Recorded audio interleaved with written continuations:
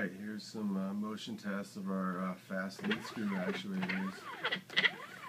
Uh, these actually have pretty beefy motors, and I haven't adjusted the throttle for them yet. Uh, figuring out the right acceleration curves and whatnot, but uh, right now I'm driving these from front or face at uh, 20,000 millimeters a minute. They're capable of actually 45,000 millimeters a minute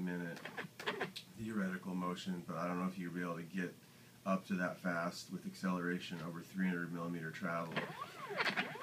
You can see these things are pretty sweet, and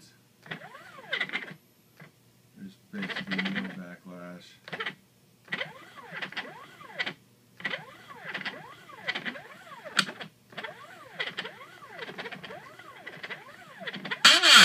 Ooh, no endstops either yet.